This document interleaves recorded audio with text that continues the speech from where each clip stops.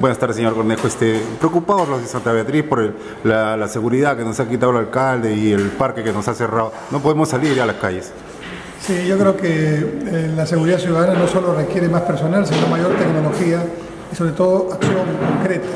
Y creo que las primeras acciones del alcalde, lo que han hecho, producto de desinformación o de una voluntad de no reconocer a la anterior gestión algún tipo de acción adecuada, han dejado temporalmente eh, desguarnecida la ciudad.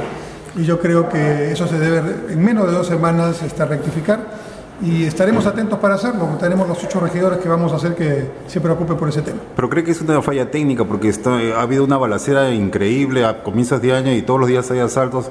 Es una preocupación. Lo Las, que creo las es casetas que están se vacías. se han privilegiado las situaciones emocionales. Lo que hizo la anterior administración no sirve y ahora yo voy a ver, quiero darme el tiempo para evaluar. Lima no está en condiciones de tiempo para evaluar, requiere acción inmediata y el tiene que asumir su desafío. Ok, le pedimos que esté Gracias. pendiente de eso. Saludos a todos. Vamos Gracias. a hacerlo. Ok. Gracias.